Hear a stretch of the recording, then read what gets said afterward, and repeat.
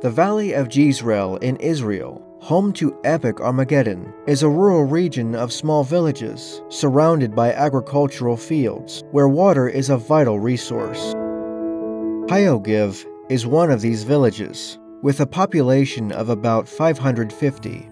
It receives wastewater from a nearby village and treats it together with its own, and in combination with wastewater from dairy farms. The treatment is performed in a lagoon-based system. Our company, Palgei Maim, manages water reuse for utilities all over the Jezreel Valley. Hayogev is one of these facilities, handles 500 cubic meter per day, about 130 gallons per day. The effluent ammonia concentration is usually exceeds 100 milligrams per liter. We don't really have the operational means to reach 50 milligrams per liter, which is required. We offered Hayogev to be first to benefit from our new MABR product. It was an ideal test case because they have a small plant, they mainly need to remove ammonia, and they uh, want to use the water for uh, agriculture.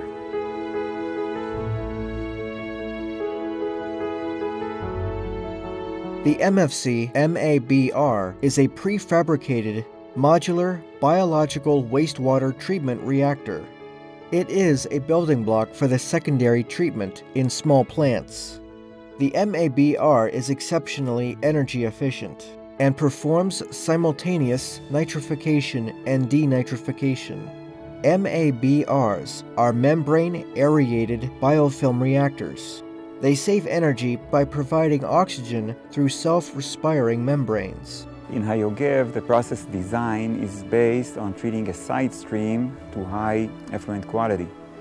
This also reduces the load on the existing plant, which as a result also produces higher quality effluent. The MABR plant is a two-stage biological process followed by a secondary clarifier and has activated sludge circulating back to the biological reactors. It took our team just a few weeks to assemble the whole plant. And then successful testing with water. Installation was quite straightforward and easy.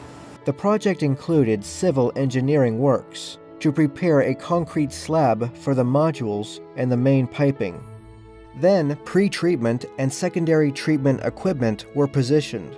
Water and air piping and fittings were connected, while electricity and control were installed.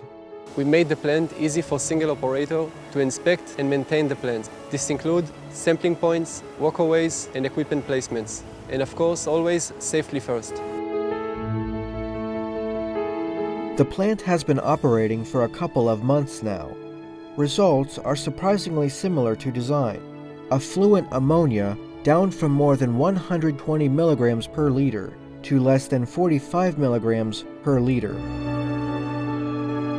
As project managers, on behalf of the water utility, we follow the design, construction and commissioning by Emefcy. Our impression is that the people behind the new technology are experienced professionals. Following years of research and development, Emefcy has finally demonstrated successful and robust wastewater treatment with its spirally wound MABR modules. Data collected from this plant as well as older data from demonstration plants, supports the economic justification of decentralized wastewater treatment.